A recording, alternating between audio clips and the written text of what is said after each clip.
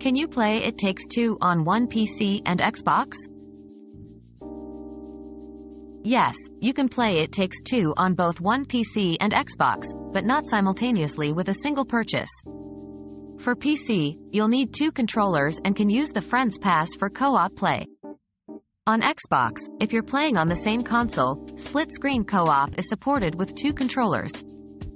To play together on separate Xbox consoles, you need two copies of the game or use the Xbox Family Sharing feature.